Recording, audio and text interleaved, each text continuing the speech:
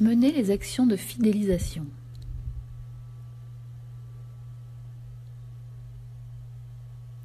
Les objectifs de la fidélisation.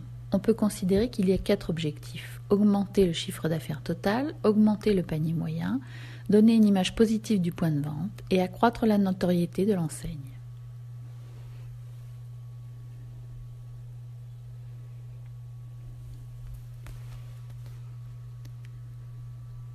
La gestion de la relation client ou GRC, appelée aussi CRM en anglais.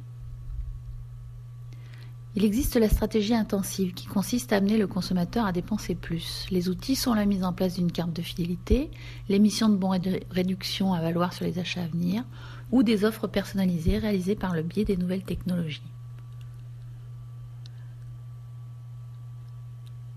La stratégie stratégie extensive, rechercher de nouveaux clients pour le magasin. Les outils sont des actions de publicité destinées à rappeler que le magasin existe, des actions de promotion-animation visant à attirer le client et à lui faire réaliser son premier achat au magasin.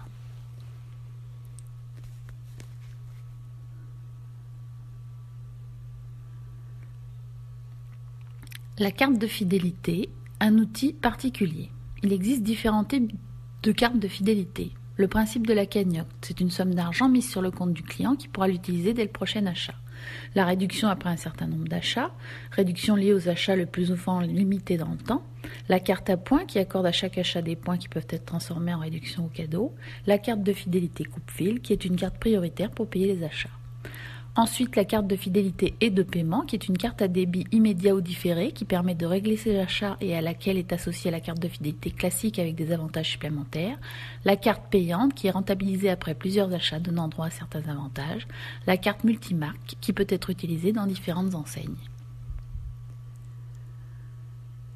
La mesure de la fidélisation.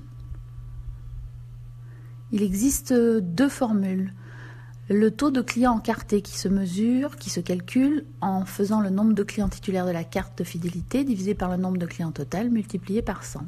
Et ensuite le panier moyen des clients encartés, chiffre d'affaires des clients encartés divisé par le nombre de clients encartés passant en caisse. L'action promotionnelle, un outil de fidélisation.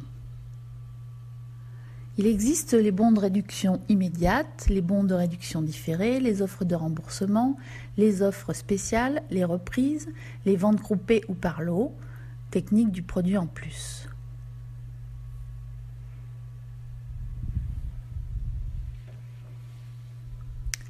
Ensuite, il existe les primes. La prime directe, le cadeau est joué en produit. La prime de fidélité, un cadeau est donné au client contre l'épreuve d'achat. Les échantillons sont des produits à un achat pour faire découvrir un autre produit. Les concours, qui sont dotés de lots d'une valeur parfois importante. Et les loteries, qui sont une opération offrant au public l'espérance d'un gain acquis par le tirage au sort des nouveautés existent en matière de, fidélisation. L'utilisation des réseaux sociaux, puisque les marques y sont très présentes, le public postage qui n'est pas vraiment nouveau, mais qui est de plus en plus envoyé par mail, les clubs de consommateurs qui créent une proximité avec les clients, et les nouvelles applications sur tablette.